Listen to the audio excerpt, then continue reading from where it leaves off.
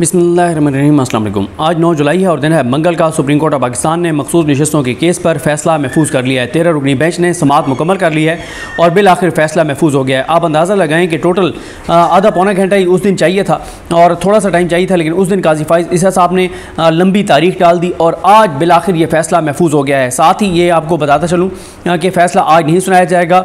इस हवाले से कॉज जारी की जाएगी। अगर कल फैसला सुनाना होगा मुख्तसर फैसला कल सुनाना होगा तो फिर ये होगा कि कॉज लिस्ट आएगी, उसमें बताया जाएगा, फिर जजेज़ आकर बैठेंगे, आकर और बताएँगे कि किस तरफ़ कितने वोट हैं और किस तरह से ये फ़ैसला किया जा रहा है। लेकिन ये बड़ी आज एक डेवलपमेंट हो गई है कि फ़ैसला महफूज हो गया, लेकिन आज जो समात का आखिरी ओवर था, उस आखिरी ओवर में जो बाजी पलटी है, वो सलमान अकरम राजा ने पलटी है। इससे पहले फैसल सदीकी साहब ने भी बड़े अच्छे दलाल दिए। फैसल सदीकी साहब ने भी ये चीज़ें कुछ बताई थी और साथ ये स्पेसिफिक एक पॉइंट जिस पे सलमान अकरम राजा साहब आज डॉक्यूमेंट्स लेकर आए थे। फैसल सदीकी साहब जो हैं उन्होंने अदालत में जब जो सबजादा हामिद रज़ा हैं, उनके कागजात नामजदगी रखे थे तो उस वक्त भी बड़ा माहौल बदला था और उस चीज़ ने बड़ा कमरा अदालत का माहौल भी बदला था, केस का केस का रुख भी तब्दील किया था। अब आज क्या हुआ? सलमान अकबर राजा साहब आज सिर्फ़ अपना एक कागजात नामजदगी लेकर आए थे और उन्होंने जो इंकशाफ किया, उसके बाद चीज़ें बिल्कुल इतनी बदल गई और काजी साहब बड़े परेशान नज़र आए। क्योंकि आज हुआ क्या? आज हुआ ये कि जो सलमान राजा साहब हैं, वो जो अपने कागजात नामजदी लेकर आए थे, उसमें उन्होंने बताया सलमान राजा साहब ने कि ये जो इलेक्शन कमीशन कहता है कि जनाब हमने जो है वो ये लिखा हुआ था, ये लिखा हुआ था, ये लिखा हुआ था, इलेक्शन कमीशन ने मुकम्मल रिकॉर्ड अदालत के सामने नहीं रखा। और ख़ास तौर पर इलेक्शन कमीशन ने अदालत के सामने ये झूठ बोला, जिसमें उन्होंने कहा कि पीटीआई वालों की अक्सरियत ने पीटीआई का डेक्लेशन नहीं दिया, पीटीआई का लिखा नहीं था कि हम पीटीआई से एफिलेटेड हैं। सलमान खान राजा साहब ने बताया कि जो कागजात नामजदगी जमा कराए गए, एक कागजात नामजदगी जो है वो पीटीआई का जमा कराया गया और उसके बाद जो है वो मुख्तलिफ़ कागजात नामजदगी जमा करवाए गए, क्योंकि हमें ये था कि पीटीआई जो है आगे उसको बल्ले के निशान छीन लिया जाएगा और पीटीआई शायद ना हो इसमें इलेक्शन में। तो इसलिए एक से कागजात नामजदगी जमा नहीं करवाए थे, एक से ज़्यादा कागजात नामजदगी जमा करवाए गए थे।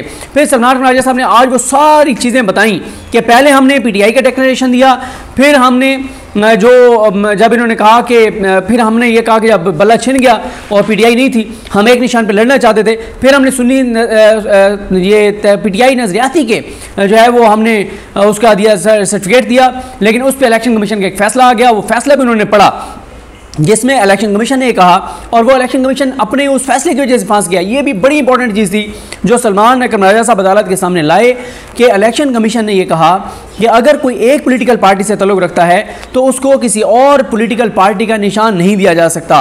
इलेक्शन कमीशन ने जब पीटीआई ने पीटीआई नजरियाती के टिकट जमा करवाए थे तो अभी वो जो एक अजीब किरदार है मजाइया किरदार, अख्तर इकबाल डार, अभी वो डार जो है, उसको अखबार नहीं किया गया था और वो चाबी वाला खिलौना नहीं बना था, तोते की तरह जो है वो उसने आके और वो नहीं सुनाई थी, जो उसको बातें याद कराई गई थी।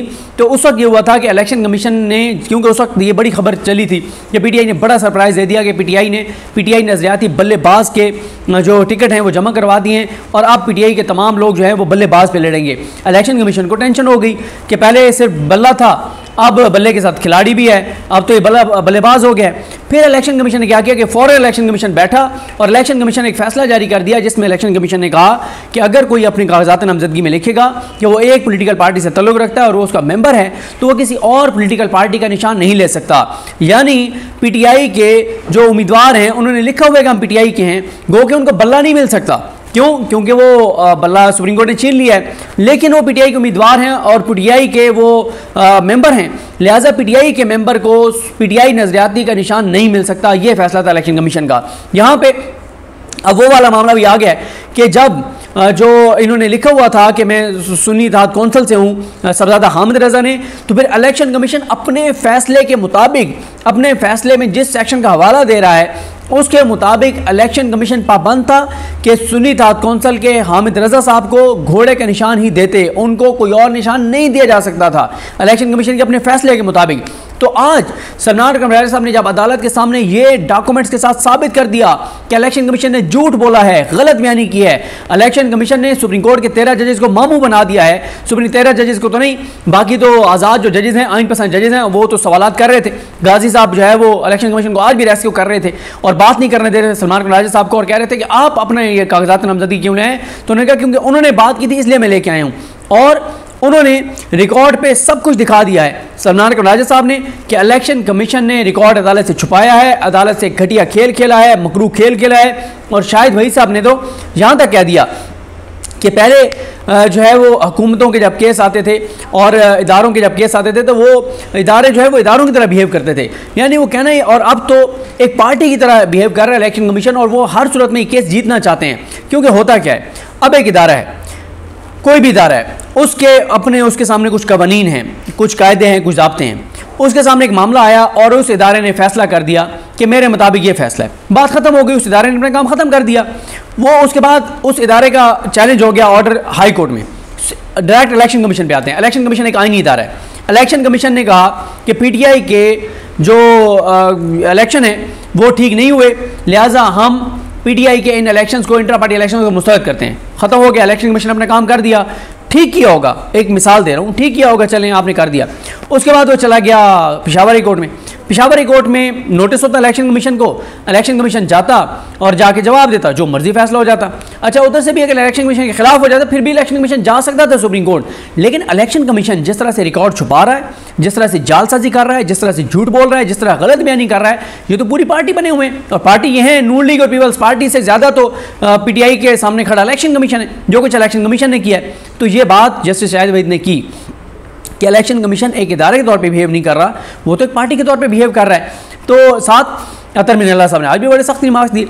आज भी उन्होंने कहा कि इलेक्शन कमीशन अपनी आइनी ज़िम्मेदारी पूरी करने में नाकाम हुआ है। इलेक्शन कमीशन जो है, वो, ये जो कुछ दो हज़ार चौबीस के इलेक्शन में हुआ है, इससे पाकिस्तान के लोग सफ़र करेंगे। और देखें, आज आप सब पाकिस्तानी, हम पाकिस्तानी, हम सब अगर आज ये महँगाई को, तबाही को, बर्बादी को अनसर्टेनिटी को और पाकिस्तान इस वक्त पाकिस्तान की तारीख की बुलंद सतह पर महँगाई है, इस वक्त पाकिस्तान की बुलंद सतह पर बेरोज़गारी है, पाकिस्तान की बुलंद सतह पर अनसर्टेनिटी है। आप रिज़र्व पाकिस्तान के देख लें फॉरन डायरेक्ट इन्वेस्टमेंट पाकिस्तान की तारीख की कम सतह पर है।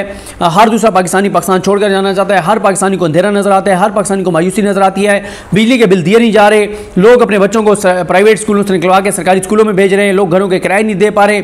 इस वक्त लोग अजियत में हैं। मतलब एक, मुझे एग्जैक्ट फिगर याद नहीं आ रहा। एक बहुत बड़ा फिगर आया कि कितनी बच्चियाँ जो हैं वो घरों में बैठी हैं जिनके वालदेन उनकी शादी नहीं कर सकते कि वो जहेज़ नहीं दे सकते हैं इस तरह के हालात हैं? ये सारी आप चीज़ें क्यों भुगत रहे हैं? ये आप सब और हम सब भुगत रहे हैं आठ फरवरी की वजह से। जो आठ फरवरी को इस मुल्क के साथ काजी फाइज ईसा साहब ने और सिकंदर तो राजा ने जिस तरह का इलेक्शन करवाया है, कौम ने वोट दिया किसी और को, इन्होंने बना दिया किसी और को। जिनको इन्होंने बनाया, उन्हें पता है कि कौम ने तो हमें वोट ही नहीं दिया, लोगों ने तो हमें वोट ही नहीं दिया। जब लोगों ने वोट हमें नहीं दिया तो जाए भाड़ में। करेंगे हम बाईस घंटे की लोड शेडिंग के में। हम करेंगे इधर लोड शेडिंग हम भेजेंगे भारी बिल। और ये अभी झूठी खबरें चलवाई जा रही हैं कि शिवाश ने नोटिस ले लिया, बिल कम होंगे और बिजली सस्ती। ये अगले बिल आप आने दें। अगले बिल आए तो मुझे ज़रा बताइएगा कि ये जो खबरें अब चली हैं कि शबाज शरीफ ने जनाब वो कर दिया जो है वो बिजली की कीमतें कम करने जा रहे हैं। ये अगले बिल पे आपको पता चल जाएगा कितनी कम हुई है। लोगों की जो इस वक्त खुदकुशी पे नहीं भी तैयार ना, वो भी खुदकुशियों पे मजबूर हो जाएँगे। इस तरह के खुदकुशी हराम में नहीं करनी चाहिए, हालात से लड़ना चाहिए, मुकाबला करना चाहिए, लेकिन लोगों को कोई और रास्ता नज़र नहीं आ रहा। और ये हुकूमत जब तक रहेगी, हर आने वाले दिन के साथ तबाही, बर्बादी, इस मुल्क की पस्ती तनजली बढ़ेगी। क्यों? ये आवाम के वोट से आए नहीं हैं। ये तो आए अपनी करप्शन लूट मार अपने मामला के लिए, कुछ और कामों के लिए आए हैं जिनके लिए इनको रखा गया है। अवाम के लिए ना ये आए हैं, ना आवाम के ज़रिए आए हैं, ना आवाम के साथ को ये रियायत करेंगे। तो बहरहाल जी, तेरह रुकनी बेंच ने फैसला महफूज कर लिया है और जजेस कुछ जो है वो बड़े वाजे हैं। और आज आप एक मौके पर देखें कि जब सलमान राजा साहब से काजी साहब ने एक सवाल किया और सलमान राजा साहब ने आगे से कहा कि सर इस पर प्लीज़ कमेंट ना करें मामला अदालतों में। तो काजी साहब फिर भी बोले तो उन्होंने कहा, या अफरीदी साहब ने कि आप इस पर रिस्पॉन्ड ना करें? आप बस सवाल सुन लें। और आप रिस्पॉन्ड ना करें। अगर आप आज की प्रोसीडिंग को निकाल के देखें और इर्द गिर्द बैठे जजेस खासतौर पर इधर वाले तो नहीं अमीनुद्दीन खान साहब बैठे हैं मुनीब अख्तर साहब के साथ। अमीनुद्दीन खान साहब तो आपको पता ही है कि काजी साहब के साथ उनका क्या तल्लुक है। आ, आप अगर मसूली शाह साहब और याई अफरीदी साहब को देखें कि जब काजी साहब बोलते थे तो कितने डिस्टर्ब होते थे। मंसूली शाह साहब और याई अफरीदी साहब की यार ये क्या कर रहे हैं काजी साहब? मतलब उनकी बॉडी लैंग्वेज बता दी थी और काजी साहब को जमाइयाँ आ रही हैं मुँह पे हाथ नहीं रख रहे जमाइयाँ ले रहे हैं। और शदीद जो है वो उसमें नज़र आ रहे हैं, दबाव में नज़र आ रहे हैं। गो के अब जो जो वो जिस तरह से एक जमीयत का तराना भी है ना, जिसमें वो कहते हैं कि मैदानों की जंग जब हम ईवानों में हारे थे तो ओपन कोर्ट में तो पीटीआई केस जीत गई है। अब जब जजेस जाके अंदर कमरे में बैठेंगे तो आपको पता ही है कि जितनी कोशिशें हो रही हैं कि कोई जज, आइन पसंद जज जो है, जो आइन के साथ खड़ा है, जो अपने हलफ के साथ खड़ा है, उसको चेंज किया जाए और उसको काजी साहब के साथ भेजा जाए ताकि ताकि पी टी आई को ये केस हराया जा सके। तो ओपन कोर्ट में तो पी टी आई केस जीत चुकी है। अब अंदर जाके क्या होता है, ये अल्लाह की ज़ात बेहतर जानती है। मुझे अपनी दुआ में याद रखें। लेकिन हम सब हमें नासरू, अल्लाह हाफ़िज़।